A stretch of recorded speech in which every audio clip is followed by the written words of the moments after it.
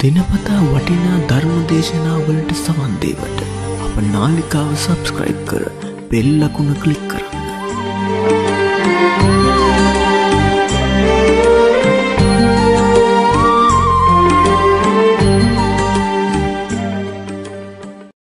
නමෝතස්ස භගවතෝ අරහතෝ සම්මා සම්බුද්ධස්ස නමෝතස්ස භගවතෝ අරහතෝ සම්මා සම්බුද්ධස්ස නමෝතස්ස භගවතෝ අරහතෝ සම්මා සම්බුද්ධස්ස හැම දෙනාටම තෙරුවන් සන්න ප්‍රාර්ථනා කරමින් අදත් ඔබ හැම දෙනෙක්ම ඔබේ ජීවිතයට වැදගත් ධර්ම කාරණා රැසක් ශ්‍රවණය කරන්න බොහෝම සද්ධාවෙන් ධර්මශ්‍රවනයට සූදානං වෙච්ච මොහොත. පිංහතුනේ අද අපි කතා කරන්නේ ලෝකෙ තියෙන උතුම්ම පුුණ්‍ය භූමියක වටිනාකම ඒ පුුණ්‍ය භූමිය ගැන ධර්මී සඳහන් වෙලා තියෙන තොරතුරු. අවිධහිත පුුණ්‍ය භූමිය ඒ වගේම සතර ස්ථානවලට අයිති. සැදහැවතුන් දැකබලා වන්දනා කර ගැනීම අප්‍රමාණ පින් රැස්වෙන සුගතිගාමී වෙන්න උපකාරවෙන භූමියක් හැටියට බුදුරජාණන් වහන්සේ බුද්ධ ඇසින් දැකලා බුදුමුවින් දේශනා කරපු ඒ උතුම් බුද්ධගයා වජිරාසන පුුණ්‍යභූමිය ගැනයි. පිංහතුනේ බුද්ධගයා වජිරාසන පුුණ්‍යභූමිය ධර්මී සඳහන් වෙන්නේ දඹදිව මධ්‍ය දේශයේ පිහිටි ලෝකයේ මධ්‍ය පුුණ්‍යභූමියක් හැටියට. සාමාන්‍ය ලෝකයේ මැද කොහිද කිය ලැහෝත් කෙනෙකුට මේ ගෝලාකාර ලෝකයේ තුළ ලෝකෙ මැදක් හොයාගන්න බෑ. හැබැයි මේ ලෝකයේ රටවල් පිහිටල තියෙන ආකාරය මහත්වීප පිහිටල තියෙන ආකාරයත් එක ගනිද්දි. ඉන්දියාවේ ඉහලට වෙන්න පිහිටල තියෙන මධ්‍ය දේශයේ මධ්‍ය පුුණ්‍ය භූමිය ධර්මානුකූලව දේශනාවල සඳහන් වෙන්නේ ලෝකයේ මුලින්ම හටගත්ත භූමියක් හැටියට. එක සඳහන් වෙන්නේ ඔබ අහල ඇති මේ ලෝකය සත්ත සුරියොද්ගමන සූත්‍රයේ සඳහන් වෙනවා කාලෙකදී තවත් මේ වගේම සූරියාවන්ගේ ආලෝකයේ වැටීම තුළ මේ අපි ජීවත්වෙන ලෝකයේ ගිනිගෙන විනාස වෙලා යන කාලයක් ගැන සූරියාව හතකගේ ආලෝකෙ වැටිලා සඳහන් වෙනවා. මේ මුළු ලෝක ධාතුවම ගිනිගෙන විනාස වෙලා යද්දී අවසානික්ට විනාස වෙන තැන හැටියට සඳහන් වෙන්නේ බුද්ධගයා වජිරාසනී පිහිටන පුුණ්‍යභූමි. ඒ වගේ මයි මේ ලෝක ධාතුවම විනාස වෙලා ගියාට පස්සේ. මේ කෙලෙස් සහිත සත්වයන් ආබස්සර නමින් අහසේ පාවිපාවින්න සත්ව කොටසක් හැටියට දේශනාවල සඳහන් වෙනවා. ආයමත් තමන්ට සුදුසු ඒ සත්ව ලෝකයන් ලෝක ධාතුවක් නිර්මාණය වෙන තෙක් අහසේ පාවිපාවේ ආබස්සර නමින් සත්ත කොටසක් හැටියට ඔවුන් මේ ලෝක ජීවත්වෙනවා. ලෝකයක් හැදෙන ආකාරයේ දීගනිකායේ අග්ගඥ සූත්‍රය සඳහන් වෙනවා.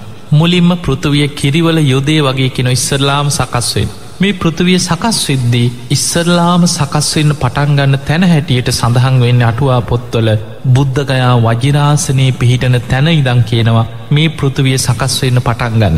අන්න එනිසා තමයි ලෝකෙන් මැද හැටියට මධ්‍ය දේශයේ මධ්‍ය භූමිය හැටියට බුද්ධගයා වජිරාසන පුුණ්‍ය භූමිය හඳුනලතියෙන්.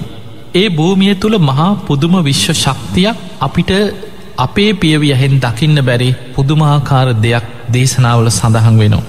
බුද්ධ ශූන්‍ය කාලවල දෙව්බඹුන්වත් ඊට ඉහලින් ගමන් කරන්න නෑ කියනවා. බුද්ධ ශූන්‍ය කාලවල ඒ බුද්ධගයා වජිරාසන පුුණ්‍ය භූමිය මහා ගණ කැලයක් වගේ වනාන්තරයක් විදිහට ආරක්ෂාවෙලා පවතිනවා. හැබැයි බුද්ධ ශූන්‍ය කාලවල දෙව් පමුන්වත් අහසිං ඒ වජිරාසනයට ඉහලින් කිසිම කෙනෙක් ගමන් කරන්නෑ කිනොත් දෙවියම් බ්‍රහ්මයන්ව. බුද්ධ කාලයක් එනකොට ඒ භූමිය හැම බුදු කෙනෙක් වෙනුවෙන්ම සකස් වෙලා එනවා. පිංහතුනී බුදුරජාණන් වහන්සේලාගේ ජීවිතේ හැම බුදු කෙනෙක්ම පරිහරණය කරන හැම බුදු කෙනෙක්ම අත් නොහැර පරිහරණය කරන භූමියක් හැටියටයි බුද්ධගයා වජිරාසන පුුණ්‍ය භූමි හඳුන්වන්. ඔබ දන්නවා මේ මහා බද්ධ කල්පයේ පහළවෙච්ච කකුසඳ බුදුරජාණන් වහන්සේ. උන්වහන්සේ මවකුසින් ලෝකයට බිහිවෙනකොටම පාරමී සම්පූර්ණ කළ බුද්ධත්වය පිණිස එදා වජිරාසනය ළඟින් මහරි බෝධයේ බෝ අංකුරය එතනින් මතවනා උන්වහන්සේ වෙනුවෙන්. උන්වහන්සේ ගිහි ජීවිතය ගත කරලා අභිනිස්ක්‍රමණය කළ දුස්කරක්‍රියා කරලා ඒ වජිරාසන පුුණ්‍යභූමි අසලට පැමිණෙනකොට උන්වහන්සේට බුදුවෙන සෙවන දුන්නේ ඒ මහරි බෝධීන් වහන්සේ. කකුසඳ බුදුරජාණන් වහන්සේගේ බෝධීන් වහන්සේ බවට පත්වෙන්නේ මහරි බෝධීන් වහන්සේ. ඒ වගේමයි මේ මහා බද්ධ කල්පයේ දෙවනුව පහළ වනේ කෝනාගමන කියන බුදුරජාණන් වහන්සේ. උන්වහන්සේ පාරමී සම්පූර්ණ කරලා සම්බුද්ධත්වය පිණිස මවකුසින් ලෝකෙ පහළ වෙනකොටම දිබුල් කියන බෝධීන් වහන්සේගේ බෝ අංකුරය වජිරාසනය ළඟින් පහළ වුණා. උන්වහන්සේත් ගිහි ජීවිතය ගත කරලා අභිනිස්ක්‍රමණය කරලා දුස්කරක්‍රියාවන් කරලා සම්බුද්ධත්වය පිණිස කුසතනට්ටිකත් අරගෙන එතනට වඩිනකොට උන්වහන්සේට බුදුවෙන සෙවන දුන්නේ මේ දිඹුල් කියන බෝධීන් වහන්සේ තමයි බෝධිය බවට පත්වනේ. ඒ වගේ මයි කාශ්‍යප සම්මා සම්බුදුරජාණන් වහන්සේ තමයි මේ මහා බද්ධ කල්පයේ තුන්වෙනුව පහළ වී වදාළ බුදුරජාණන් වහන්සේ. උන්වහන්සේ පාරමී සම්පූර්ණ කළ එදා මවකුසින් ලෝකයට බිහිවෙන කොටමයි උන්වහන්සේ වෙනුවෙන් නුග බෝධී බෝ අංකුරය වජිරාසනය ළඟින් පහළ වනේ. උන්වහන්සේට බුදුවෙන්න සෙවන දුන්නේ ඒ නුග බෝධීන් වහන්සේ. ඔබත් මමත් සරණගියේ ගෞතම කියන බුදුරජාණන් වහන්සේ. උන්වහන්සේ තමයි මේ මහා බඩ්ඩ කල්පේ හතර වෙනුව පහළවී වදාළ බුදුරජාණන් වහන්සේ. ඔබ හල ඇති සහජාත වස්තු කියලා. අපේ බෝසතාණන් වහන්සේදා පින්වන්ත මහාමායා දේවියෙක් කුසි ලුම්මිනි සල්වනයේදී ලෝකයට බිහිවෙච්ච වෙසක්පුන් පොහෝ දවසෙම එදාම තමයි චන්න ඇමතිය කන්තකස්වයාගේ පහළවීම.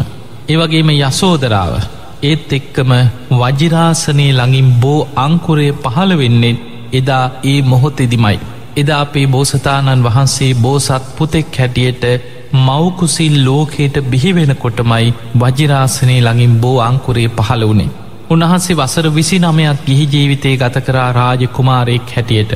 එදා අභිනිස්ක්‍රමණය කරලා අවුරුදු හයකට ආසන්න කාලයක් දුස්කරක්‍රියාවන් කරා. සුජාතාවගේ කිරිපිඩුදානි වලඳල සොත්තිය බමුණනාදීපු කුස තනමිටි අටත් අරගෙන. උන්වහන්සේ අර නේරංජනා නදියෙන් එතර වෙලා මේ උතුම් මධ්‍යදේශයේ පිහිටි පෙරබුදුවරු පවා බුද්ධත්වයට පත්වෙන හැම බුදු කෙනෙක් මත් නොහැර පරිහරණය කරන මේ වජිරාසන භූමියයට උන්වහන්සේ වඩිනකොට උන්වහන්සේගේ වයි සවුරුදු තිස් පහයි එදත්වේ සක්පුන් පොහෝ දවසක්. ඒ වෙනකොට උන්වහන්සේ වෙනුවෙන්ම පහළ වෙච්ච බෝධීන් වහන්සේගේ වයසත් හරියට මවුරුදු තිස් පහක් වෙනවා. එතකොට අපිට පේනවා අපේ බෝසතාණන් වහන්සේ සම්බුද්ධත්වයට පත්වෙන්න පෙර මවකුසින් බිහිවෙන දවසිම පහළ වෙච්ච ඇසතු බෝධීන් වහන්සේ තමයි උන්වහන්සේට බුද්ධත්වයට පත්වෙන සෙවන දුන්. මේ වජිරාසන පුුණ්‍යභූමිය මතය. ඒ ඒ බුදුරජාණන් වහන්සේලා වෙනුවෙන් බෝ අංකුරය ඒ බුදුරජාණන් වහන්සේලාගේ පාරමී ධර්ම ඒ පින නිසාම වජිරාසනය ළඟින් ඒ බෝධිය පහළ වෙනවා. කවුරුත් දෙවිය එකත් බ්‍රහ්මය එකත් වෙන කවුරුත් මනුස්සේකත් කවුරුවත් ගෙනහල රෝපණය කරනවන් නෙවේ. වජිරාසනය ළඟින් ඉබේම පැනනගින විස්තරයක් තමයි දේශනාවල සඳහන් වෙන්න. පිංහතුනේ මේ වජිරාසනයේ වජිර කියලා කියන්නේ දිය මන්තිවලට. වජිරාසනය කියලා කියන්නේ හැම බුදු කෙනෙක්ම බුද්ධත්වයට පත්වෙන මේ භූමියේ ඒ බුදුරජාණන් වහන්සේලා වැඩඉන්න ආසනය මේ වජිරාසනය කියලා හඳුන්නනවා.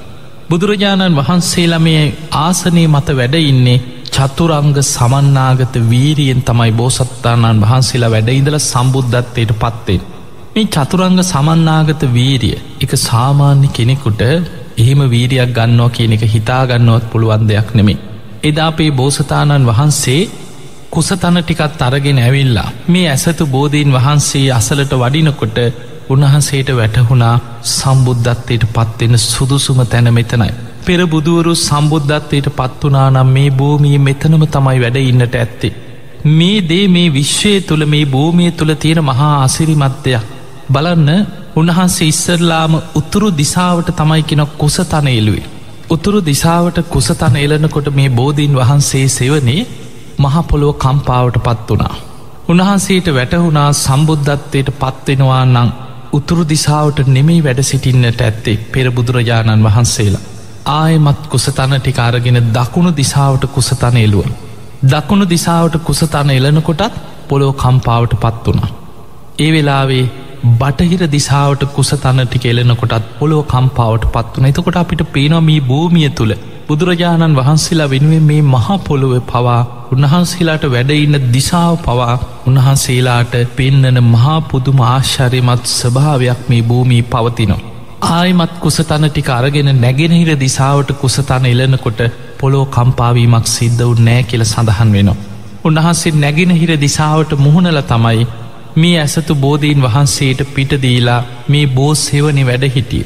උන්හන්සේ වාඩි වුණේ සාමාන්‍ය කෙනෙක් භාවනා කරන්න වාඩි වෙන ඉරියව්වකින් නෙමේ. උන්වහන්සේ වැඩ ඉඳල අධිෂ්ඨානයක් ඇති කරගත්තා මගේ ශරීරයේ සම්මස් වියලේවා. ඇටනහර පමණක් ඉතිරිවෙතොත් ඉතිරිවේවා. පුරුෂ වීරියම් පුරුෂ පරාක්‍රමෙන් යම් ධර්මයක් අවබෝධ කරගත යුතුද මැරුණත් මෙතනින් නැකිටින්නේ. අන්නේ අධිෂ්ඨාන බැලන් සාමාන්‍ය කෙනෙකුට ඔහොම වාඩිවෙන්න පුළුවන්ද කියලා.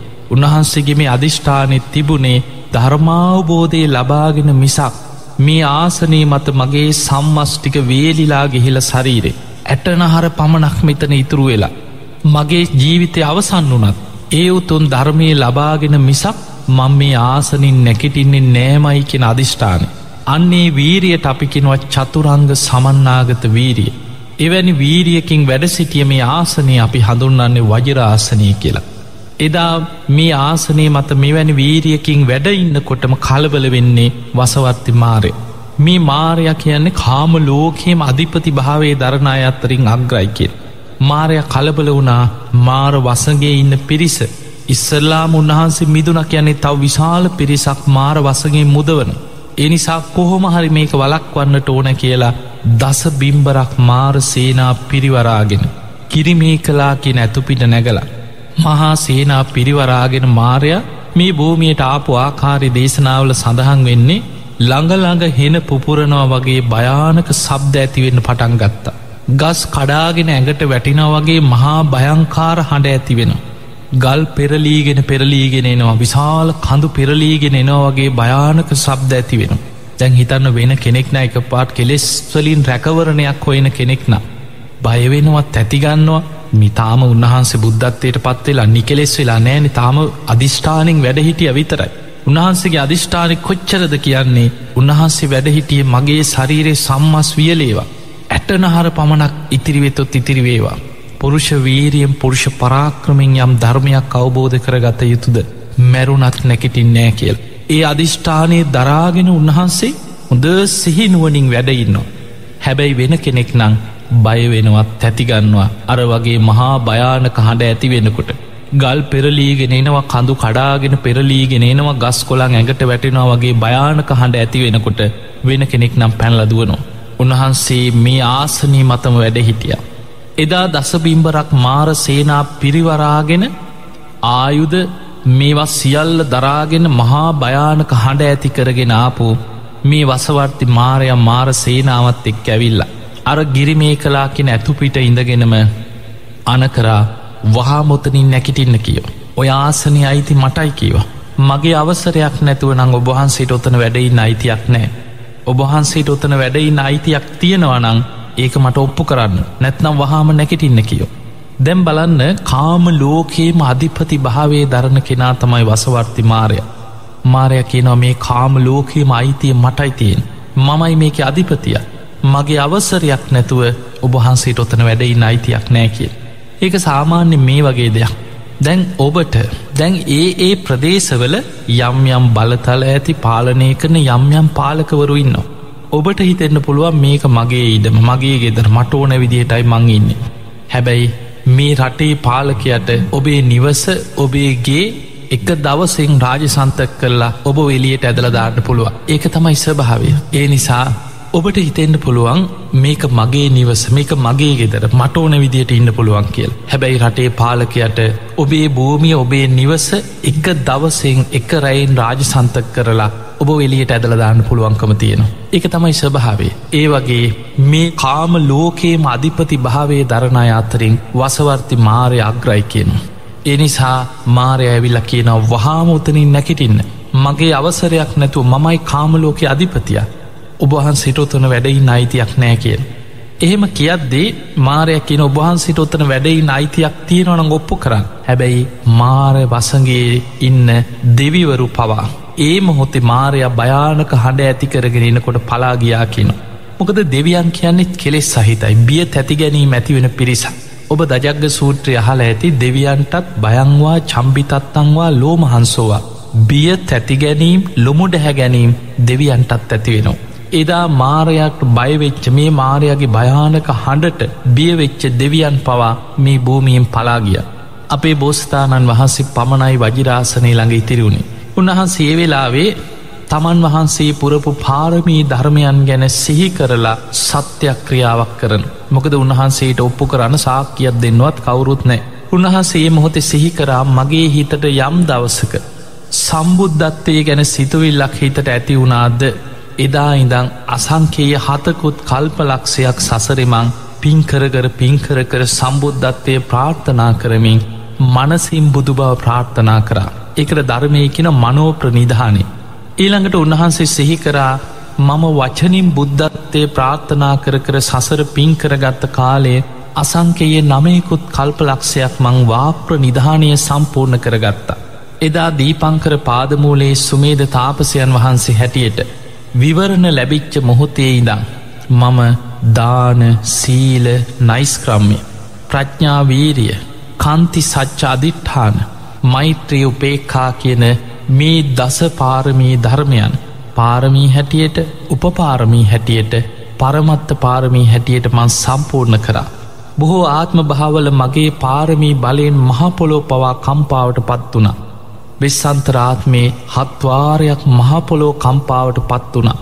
මම පාරමී සම්පූර්ණ කරගෙනයි මං මෙතන වැඩඉන්නේ. ඒ නිසා මට අයිතියක් තියෙනවා මේ මහපොලෝ මට සාක්ෂි දරාවේ මේ මහපොලෝ මගේ පාරමී බලෙන් කම්පාවුනා කියලා උන්වහන්සේ ශ්‍රී හස්තේ පොළොවට තියලා පොළොවට අත තියල දිවරන්න පටන්ගත්. අන්නේ වෙලාවෙ මහපොළොව ගිගුරුම් දෙමින් කම්පාවට පත් වනා ස්වාමීනි ඔබහන්සේට ඔතන වැඩයි නයිතියක් තියෙනවා. ඔබහන්සේ පාරමී සම්පූර්ණ කරගත්ත කෙනෙක් කියල සාක්ෂි වසයෙන් මහපොළොව ගිගුරුම් දෙමින් කම්පාවට පත් වන. අන්නේ වෙලාවෙ තමයි කෙන වසවර්ති මාරය මාර සේනාවත් එක්ක සීසීකට පලාගිය. ඔබ අහලතිනො දස බිම්බරක් මාර සේනා පරාජය කරලා සම්බුද්ධත්වයට පත් වනා. එම නැත්නම් මාර පරාජය වුණා. ඔන්න ඕක තමයි මාර පරාජය කියල හඳුන්නන්. එදා මේ වජිරාසන මූලයේ තමයි බෝධි මූලේ වැඩ ඉඳල තමයි උන්වහන්සේ ඔය අධිෂ්ඨානයෙන් සත්‍යක්‍රියාව තමන් වහන්සේගේ පාරමී ධර්ම සිහි කරලා ශ්‍රී හස්තේ පොළොවට තියල දිවුරුයි. අන්නේ මොහොතෙ තමයි දසබිම්බරක් මාර සේනාවම පලාගේ සීසීකඩ දුවන්න පටන්ගත්ත. දැම් මාරය ඇතුළු සේනාවම පලාගිය. උන්වහන්සේට බාධා කරන්න කවුරුවත් නෑ. උන්වහන්සේ පුංචි කාලෙ දඹරුක් සෙවනේ ආනාපාන සතිය වඩලා පළවෙනි දිහානයෙන් වාසය කරපු කෙනෙක්. මෙන්න මේ භාවනාව උන්වහන්සේ බුද්ධත්වයට පත්වෙන්න යොදාගත්තේ ආනාපාන සති භාවනාව. වජරාසනයේ මත වැඩහිටිය බෝසතාණන් වහන්සේ. තමන් වහන්සේගේ හුස්මරැල්ලට හිතයොමු කරගෙන මේ හුස්මරැල්ල ඔස්සේම හිත සමාධිමත් කරගත්තා. පළවෙනි දිහානයට දෙවනි දිහානයට තුංගනි දිහානයට හතරවෙනි දිහානයට හිත සමාධිමත් වුණා. මේ සමාධිමත් හිතක ඉඳං රාත්‍රයේ පළවෙනියාමි වෙනකොට උන්වහන්සේගේ හිත දැන් හතරවෙනි දිහානයටම සමාධිමත් වෙලා. බොහෝම සමාධිමත් හිතක් තුළ ඉඳං උන්වහන්සේ විමසන්න පටන්ගත්තා තමන් වහන්සේ ගත කරගෙන අපපු පෙර ජීවිත ගැන දකින්න හිත යොමු කරනවත් සමගම රාත්‍රයේ පළවෙනියාමේ මේ බෝධිමූලේ පෙර බුදුවරුන්ට වගේම පළවෙනි විද්‍යාව උන්වහන්සේට පහළ වුණ. ඒ තමයි පුබ්බේ නිවාසානුස්සති ඥානය. පුබ්බේ නිවාසානුස්සති ඥානයෙන් පෙර ජීවිත කල්ප ගනන් අසංකීය ගනන් ආපස්සට බලන්න පුළුවන්නුවන්. උන්වහන්සේ ඒ තුළින් පෙර ජීවිත බලාගෙන බලාගෙන ගිය කල්ප ගනං ආපස්සට බැලුව. කොහේ හෝ තැනක ඉපදීමක් තියෙනවා. ඉපදුනා කියන්නේ ජරා මරණ සෝක පරිදේව දුක්ක දෝමන සෝපායාස.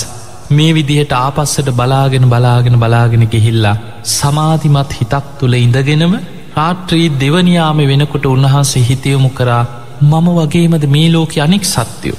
ඒ අයත් මේ වගේම ඉපදමින් මැරමින් යන සංසාර ගමනක්ද ගත කරන්න කියලා ලෝක සත්‍යයන් ගැන හිතයොමු කරනකොට රාත්‍රී දෙවනියාමි උන්වහන්සේට පහළ වනේ චුතූපපාතඥානි. මේ සත්වයන්ගේ චුතවීමත් උපත කරායන ආකාරයක් දකින නුවන. ඒ ඒ සත්‍යයන් ඒ ඒ සත්ත ලෝකවලින් චුත වෙනවා. නිරේ ඉන්න සත්‍යයන් ප්‍රේතාපාය අසුරාපාය මේ ඕපපාතික සත්‍යයන්ගේ මරණය අපි ගැන චුතවීම. ඊළඟට මනුස්සලෝකස් ඊළඟට තිරිසංලෝක මේ මවකුසිම් බිහි වෙන බිත්තර ඇතුළෙන් පහළ වෙන එවැනි සත්‍යයන් අපි මරණය මේ ශරීරය අතහැරලයාම ඔය මොන වචනින් කිවත් ඒ ඒ සත්වලෝකවලින් මරණයට පත්වීම චුතවීම. මේ චුතවීමත් සමගම කර්මාණරෝපීව ඒ ඒ සත්වලෝක කරා සත්‍යයන් උපදින හැටි කර්මාන්රෝපීව ඇදිල ඇන ආකාරය උන්වහන්සේට දකින්න ලැබුණ. අන්නේ නුවන තමයි චුතූපපාතඥානය කියලා කියන්න. ඒ නුවනින් උන්වහන්සේ දැක්ක සමහරු මනුස්ස ජීවිතයෙන් මරණයට පත්වෙලා නිරේ උපත කරායන හැටි. සමහරු ප්‍රේතලෝකවලට වැටෙන හැටි තිරිසං අපායවල්ලෝට වැටෙන හැටි. මේ තිරිසං අපායෙන් චුතවෙන සත්‍යයන් ආයායමත් තිරිසල්ලෝ කොළෙක්කො නිරේ ප්‍රේතාපාය වැටෙන ආකාරය. මේ සත්‍යයන්ගේ සංසාර ගමනේ භයානකකම දකිනකොට අර බුද්ධගයා වජිරාසන බෝධි මූලේදිම උන්වහන්සේගේ හදවතේ මහා කරුණාවක් පැනනැක්ග ලෝක සත්‍යයන් ගැන කුදස් වනාම ඉමස්ස දුක්කස්ස නිස්සරණං හෝදි. කවදාද මේ ලෝකෙ සත්‍යයන් මේ සංසාර දුකින් මිදෙන්නේ කියන මෙන්න මේ කරුණාව තමයි උන්වහන්සේගේ හදවතය ඇතිවුණි. අන්න එතන ඉදන් තමයි පටිච්ච සම්පාද ධර්මය නුවනින් විමසන්න පටන් ගත්තේ. ජරා මරණවලට හේතුවමොකද්ද කියල හොයාගෙන යනකොට විපාක පිණිස කර්ම සකස්සීම. ඉපදීම නිසයි ජරා මරණ ඇතිවෙන් ජාති ජාතියට හේතුව භවය විපාක පිණිස කර්ම සකස්සේ. භවයට හේතු උපාදාන බැඳීයා බැඳීයාමට හේතුව තන්හා මේ විදියට පටිච්ච සම්පාදය ආපස්සට අනුලෝම වසයෙන් විමසගෙන විමසගෙනගේ අවිද්‍යාව දක්වා. ඊළඟට ප්‍රතිලෝම වසයෙන් ජරාමරණ නැතිවෙන්නේ කුමක් නැතිවීමෙන්ද ඉපදීමක් නැත්නං ජරාමරන්නේ උපදින් නැතිවෙන්නේ කුමක් නැතිවීමෙන්ද විපාක පිණිස කරම හැදෙන් නැත්තං උපදින්න ඔය විදිහට අවිද්‍යාව දක්වාම ආපස්සට මෙනෙහි කර. උණහසේ බෝධි මූලේ රාට්‍රීත් තුන්නෙනි යාමි පුරාම කරේ මේ පටිච්ච සම්පාද ධර්මය වටහා ගනිමින් අනුලෝම ප්‍රතිලෝම වසයෙන් නුවනින් විමසීම්. එහෙම විමසල අවසන් වෙනකොට තමයි නැගෙන හිරෙන් අරුණෝදය මතුවෙනවත් සමගම උන්වහන්සේගේ හිත සියලු කෙලෙසුන්ගෙන් සියලු ආශ්‍රවයන්ගෙන් මිදිලා සම්මා සම්බුද්ධත්වයට පත්තෙන්. පිංහතුනේ උන්වහන්සේ වජිරාසල භූමියයේ සම්බුද්ධත්වයට පත්වෙනවා සමගම දස දහසක් ලෝක ධාතුවම ආලෝකමත් වනා කියල සඳහන් වෙන. මහාගන අන්දකාරය පවතින ලෝකාන්තරික නිරේ පවා සුළු මොහොතකට ආලෝකමත් වෙලා ගිය. අපායවල්වල පවා ගිනි දැල් සුළු මොහොතකට නිවී ගියා කියල සඳහන් වෙනවා. දස දහසක් ලෝක ධාතුවටම දෙවියන්ගේ දේවානු භාවය පවා ඉක්මවාගිය. අප්‍රමාණ වූ ආලෝක ධාරාවන් ලෝක දහතු පුරා විහිදෙන්න පටන්ගත්තා. උන්වහන්සේ බුදු වෙලා සතියක් බෝධිමූලි වැඩහිට. මේ බුද්ධගයා භූමිය මේ වජිරාසන භූමිය පූජනයත්තයට පත්වෙන්නේ සියලු බුදුවරයන් වහන්සේලා බුද්ධත්වයට පත්වෙන ලෝකෙ තියෙන මධ්‍යදේශයේ මධ්‍ය පුුණ්්‍යභූමියයේ පූජනියම ස්ථානය. එවිතරක්නෙමේ බුදුරජාණන් වහන්සේ බුද්ධත්වයට පත්වෙලා සතියක් විමුක්තිසුව විඳමින් බෝධි මූලේම වැඩ සිටිය. ඒ සති අවසානි තමයි උන්වහන්සේ බෝධීන් වහන්සේගෙන් අහසට පැන නැගලා යමා මහ පෙළහර පෑව. බුදු කෙනෙකුට පමණයි යමා මහ පෙළහර පාන්න පුළුවන්. දෙව් බමුන්ගේ සැකදුරු කරන්න බුදු සිරුරෙන් ගිනිදැල් විහිදෝමින් ජලධාරාවන් විහිදෝමින් බුද්ධකයා වජිරාසනයට ඉහ ලහසේ උන්වහන්සේ යමා මහ පෙළහර පාන්නට ඉදුණ. ඒවගේ මයි බෝධීන් වහන්සේ දෙස නේත්‍ර පූජාවකින් සතියක් පුරා අනිමිස ලෝචන පූජාව කියල අපි හඳුන්නන් ඇසිපිය නොහෙලා බෝධීන් වහන්සේ දෙස බලා සිටිමින් උන්වහන්සේ නේත්‍ර පූජාවකින් පූජාවක් පැවැත්තුව. ඊළඟට තුන්වෙනි සතියත් බුදු වෙලා මේ වජිරාසන භූමි අසලමයි වැඩ හිටිය. ඒ සතිය පුරාම රුවන් සක්මනයේ දුනා.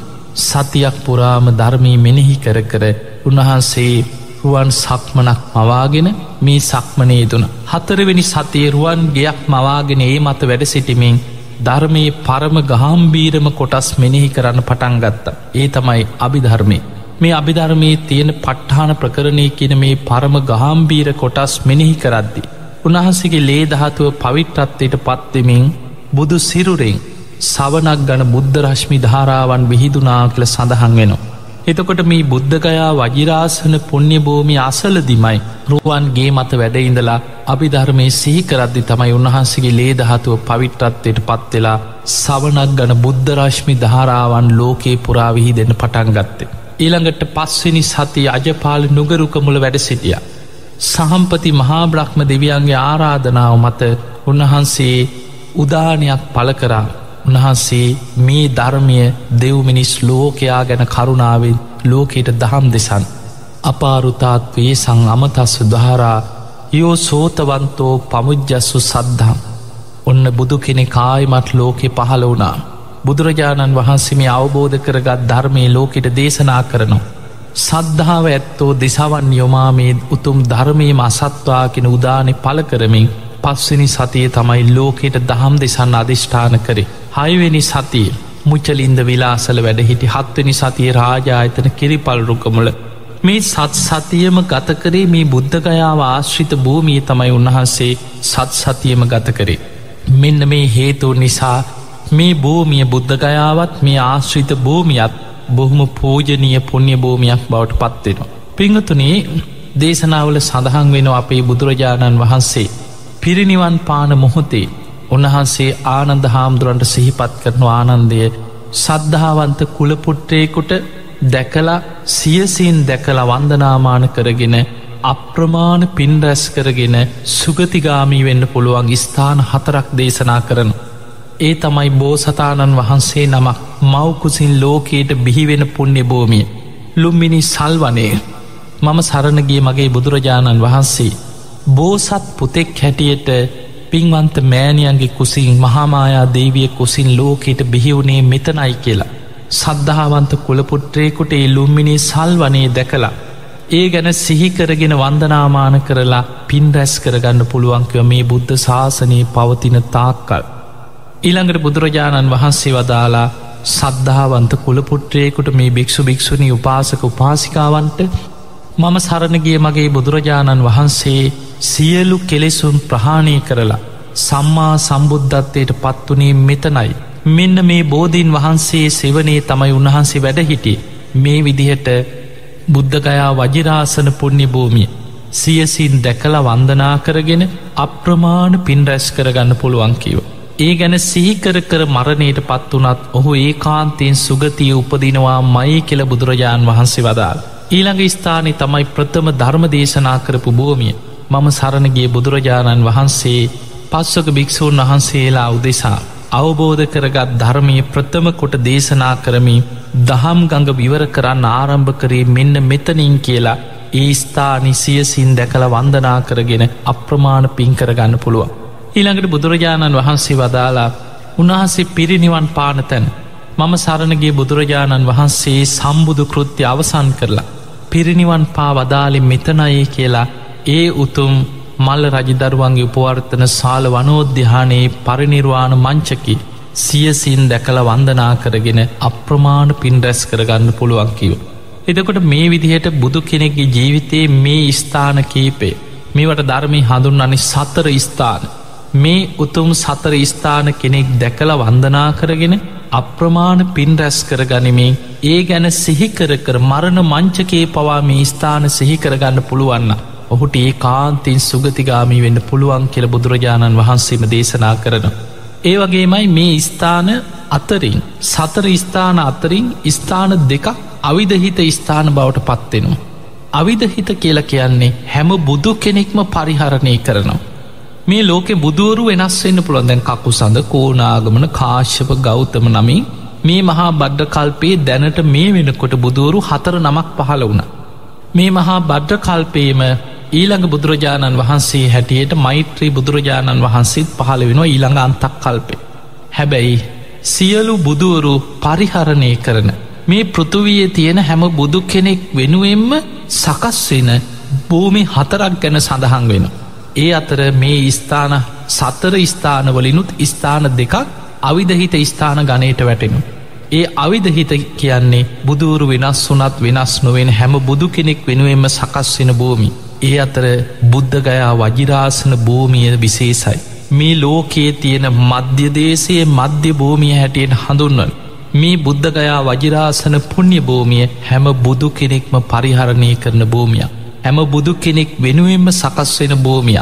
හැම බෝසතාණන් වහන්සේ නමක්ම මවකුසින් බිහිවෙනකොටමයි වජිරාසනය ළඟින් බෝ අංකුරය පහළ වෙලා බෝධීන් වහන්සේ එතනින් හටගන්න. ඒ නිසා මේ භූමිය අවිධහිත ස්ථානයක් ගනයට වැටෙනවා. අවිධහිත කියන්නේ බුදුවරු වෙනස් වුවත් වෙනස් නොවෙන හැම බුදු කෙනෙක් වෙනුවේම සකස් වෙන ස්ථානයක් තමයි බුද්ධගයා වජිරාසන භූමි.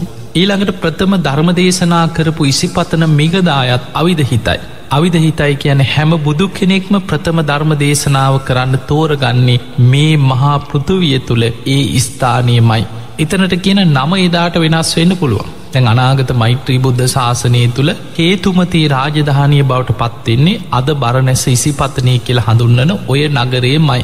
එතකොට ඒ නගරයට කියන නම වෙනස් වෙනවා. ඒ නගර ජීවත්වෙන මිනිස්සු වෙනස් වෙනවා. වටපිටාව තියෙන ගොඩනැගිලි ටික වෙනස් වෙන්න පුළුව අඟහකොල වෙනස් වෙන හැබැයි මේ පෘතුවයේ ඒ ස්ථානීම තමයි එදාටත් ඒ වෙනුවෙන් සකස් වෙලායින්න. එතකොට මේ සතර ස්ථානවලින් සම්බුද්ධත්වයට පත්විච්ච තැන ප්‍රථම ධර්ම දේශනා කරපු ස්ථානය අවිදහිතයි. හැබැයි බුදුවරයන් වහන්සේලා උපදින තැන් ඒ ඒ බුදුවරු අනුව වෙනස් වෙන. පිරිනිවන් පාන තැනත් ඒ ඒ බුදුරජාණන් වහන්සේලාට අනුව පිරිනිවන් පාන තැනත් වෙනස් වෙනවා. නමුත් පිංහතුනි හැම බුදු කෙනෙක්ම පරිහරණය කරන තවත් ස්ථාන දෙකක් තීර. ඒ තමයි සංකස්ස පුුණ්‍ය භූමි. හැම බුදු කෙනෙක්ම දෙව්ලෝට වැඩම කරලා අභිධර්ම දේශනාව කරලා රන් ඉනිමගක් මවාගෙන දෙව්ලොවින් මනුලෝට වැඩම කරලා සිරිපතුල තබන තැන වෙනස් වෙන්නේ නෑ. එතන අවිධහිත තැන අද සංකස්ස කියලා හඳුන්නන්න එතන. ඊළඟට හැම බුදු කෙනෙක්ගෙම ජීවිතයේ වැඩිම කාලයක් වැඩඉන්න තැනක් තමයි සැවැත්නූර ජීතවන පුුණ්‍ය භූමි. හැම බුදු කෙනෙක් වෙනුවෙන්ම ඒ භූමියම මිලදීගෙන ඒ විදිහටම කොටි සෙනසුන් හදලා බුදුරජාණන් වහන්සේලා වෙනුවෙන් පූජා කරන්න පෙරුම් පුරාගනයන මහා පින්වන්ත කෙනෙක් හැම බුද්ධ ශාසනයකම පහළ වෙන. අපේ බුද්ධ ශාසනය අනාත පින්ඩික සිටතුමා වගේ. ඒ නිසා මේ දඹදිව පිහිටේ ජේතවන භූමිය හැම බුදු කෙනෙක් වෙනුවෙන්ම බිහාරාරාමයක් කරලා පූජාවෙන පුුණ්‍ය භූමිය එකත් අවිධහිත තැනක් ගනයට වැටෙනවා. මෙන්න මේ නිසා මේ ස්ථාන අතර වැදගත්ම බුදු කෙනෙක්ගේ ජීවිතයේ තියෙන මේ සියලු බුදුරජාණන් වහන්සේ වැඩහිටිය පරිහරණය කරපු දහම් දෙසපු මේ සියලුම ස්ථාන අතර ගත්තොත් ලෝකෙ තියෙන ප්‍රබලම පූජනියම වටිනාම බලවත්ම තැන තමයි බුද්ධගයා වජිරාසන පුුණ්‍ය භූමි. එවැනි පුුණ්‍ය භූමියක් මත අපිට තේරුම් ගන්න බැරි තරං අපේ මේ පොඩි නුවනට වටහාගන්න බැරි තරක් මහා පුදුම බුද්ධ ශක්තියක් බුද්ධ අධිෂ්ඨාන බලයක් සියලු බුදුවරු වෙනුවෙන් සකස් වෙන මේ භූමිය මත පවතිනෝ. බුදුරජාණන් වහන්සේගේ ජීවිතයේ පිරිනිවන් පෑම් තුනක් ගැන ඔබ දේශනාවල අහල ඇති. ඒ පළවෙනි පිරිනිවන් පෑම තමයි ක්ලේෂ පරිනිර්වාණි කෙලෙසුන්ගෙන් පිරිනිවන් පෑම් ඒකට අපි කියනවා සෝපාදිශේෂ පරිනිර්වාණ උපදි කියන්නේ කෙලෙස්වලට ඒ සෝපාදිශේෂ පරිනිර්වාණය සිද්ධ වෙන්නේ බුද්ධගයා වජිරාසන භූමිය මත. ඊළඟ පිරිනිවන් පෑම තමයි සම්බුදු කෘත්ති අවසන් කරලා අනුපාදිශේෂ පරිනිර්වාණ දහත්වෙන් පිරිනිවන් පෑම. ඒ පිරිනිවන් පෑම තමයි මල රජ දරුවන්ගේ උපවර්තන සාල වනෝද්‍යානය සිද්ධ වුණේ. නමුත් බුදුරජාණන් වහන්සේගේ බුද්ධ අධිෂ්ඨානය මත සර්වඥ ධාතුන් වහන්සේලා මිපමණ කාලයක් වැඩ සිටිත්වා. දෙව් මිනිසුන්ගේ වන්දනා ලබමින් වැඩ සිටිත්වාකින් අධිෂ්ඨානය මත ලෝකෙ වැඩඉන්නවා. මේ සියලුම ධාතුන් වහන්සේලා එකට එකතු වෙලා බුදුරුව මවාගෙන යමාමහ පෙලාහර පාලා ධාතුන් වහන්සේලා පිරිනිවන් පාන දවසක් ගැන දේශනාවලේනු. ඒක ධර්මී හඳුන්වන්නේ ධාතු පරිනිර්වාණය කෙල්. ක්ලේෂ පරිනිර්වාණය අනුපාදිශේෂ පරිනිර්වාණි ඊළඟ පරිනිර්වාණය තමයි ධාතු පරිනිර්වාණ මේ ධාතු පරිනිර්වාණි සිද්ධ වෙන්නෙත් බුද්ධකයා වජිරාසනයට ඉහළ අහසේ කියන කාරණය තමයි සඳහන් වෙලා තියෙත්. බුදුරජාණන් වහන්සේ පිරිනිවන් පාල අවුරුදු පන්දාහක් වෙන වෙසක් පුන් පොහෝ දවසේ. මේ ලෝකයේ යම් තැනක දෙව්ලෝවේවා බඹලෝවේවා නාලෝවේවා යම් තැනක උතුම් සර්වඥ දහත්තුන් වහන්සේලා වැඩ සිටිද්ද. මේ සියලුම සර්වඥ ධාතුන් වහන්සේලා අහසිං වැඩම කරලා බුද්ධගයා වජිරාසනයට ඉහළ අහසේදී බුදුරුවක් මැවෙනු. ඒ මැවෙන බුදුරුවේ නලල්ලේ ලලාට ධාතුන් වහන්සේ පිහිටි තැන පිහිටනවා. ඒ බුදුරුවේ ශ්‍රීමුකේ තුළ සතර දළදා වහන්සේලා පිහිටි තැන්වල පිහිටනවා. අකුධාතුන් වහන්සේලා දෙනම උරහිස් මත පිහිටි තැන පිහිටනවා. අනෙක් සියලූම ඩ්‍රෝන අටක් වෙන ඒ උතුම් සර්වඥ දහතුන් වහන්සේලා. අබෑට ප්‍රමාණයට මුම් පියලි ප්‍රමාණයට කඩ සහල් ප්‍රමාණයට බිඳීගිය සියලුම සර්වඥ ධාතුන් වහන්සේලා එකට ඇමිනිලා ද්‍රෝණ අටකින් යුක්ත බුද්ධ ශරීරය අස්ති ශරීරයේ සම්පූර්ණයම සකස් වෙලා මැවෙනවා. ඒ බුදුරු අහසේ බුදු කෙනෙකුට පමණක් කළ හැකි යමාමහ පෙළහර පෑමක් සිදු කරනු. ඒ යමාමහ පෙළහර පාද්දි වජිරාසනය පොළොවෙන් අහසට පැනනගෙනවා. ඒ වජිරාසනය මත බුදුරුව වැඩ සිටිනවා සමගම් විශාල ගිනිජාලාවක් බුදුරුවෙන් හටගෙන ඒ ගිනිජාලාවෙන් වෙහිලෑන බුදුරුවේ අලුවත් දැලිවත් දූවිලිවත් ඉතිරි නොවී සියලු සර්වඥ ධාතුන් වහන්සේලා ඒ මත වජිරාසනයට ඉහළ අහසේම පිරිනිවන් පානුවත් දැවිල පිළිස්සිල අතුරු දහන් වෙලා යනු. මෙන්න මේ සිදුවීම දකින්න ලැබෙන් එදාට දෙව්වමුන්ට. අහසේ පිරිලා ඉතිරිලා යන දෙවියම් බ්‍රහ්මයන් මේ ධාතු පරිනිර්වාණිත්. අහසේදම් මදාරාමල් ලිසිමින් සාධකාර දෙමින් පූජා පවත්තමින් දෙව් බමුන් හඬා වැල්පෙනවා කියලා සඳහන් වෙනවා අනේ අපිට වන්දනා කරන්න හරි තිරිවෙච්ච දහතුන් වහන්සේලත් අද පිරිනිවන් පානු. මේ ලෝකෙට පහළවෙච්ච දහම් මැස ඉක්මනින් පිරිනිවන් පෑවා කියල දෙව් බමුන් අහසේ හඬා වැලපමින් පූජා පවත්වන විස්තර දේශනාවල සඳහන් වෙනවා මේක සිද්ධ වෙන්නේ අදහෙට නෙමෙයි.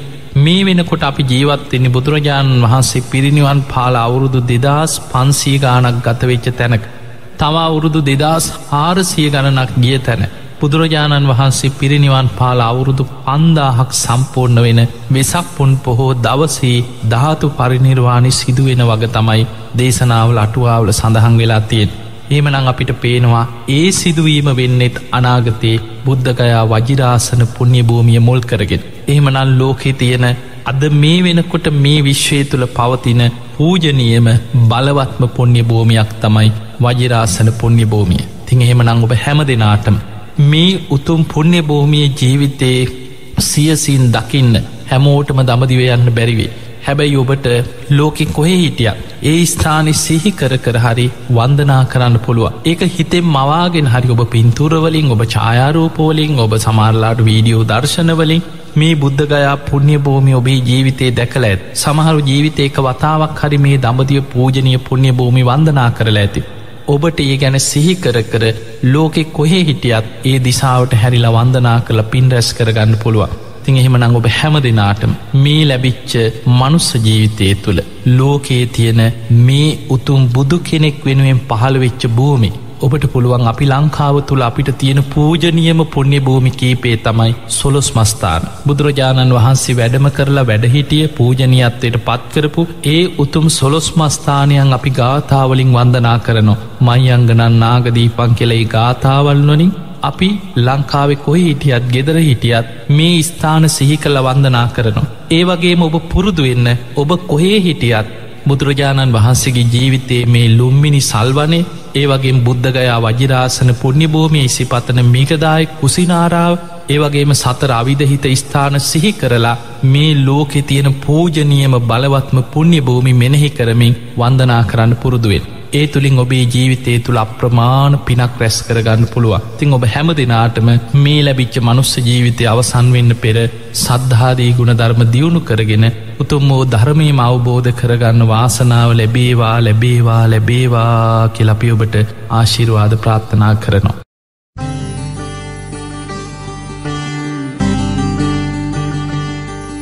දෙනපතා වටිනා ධර්ම දේශනාවලට සවන්දේවට අප නාලිකාව සබස්ක්‍රයිබ් කර බෙල්ලකුණ කලික් කරන්න.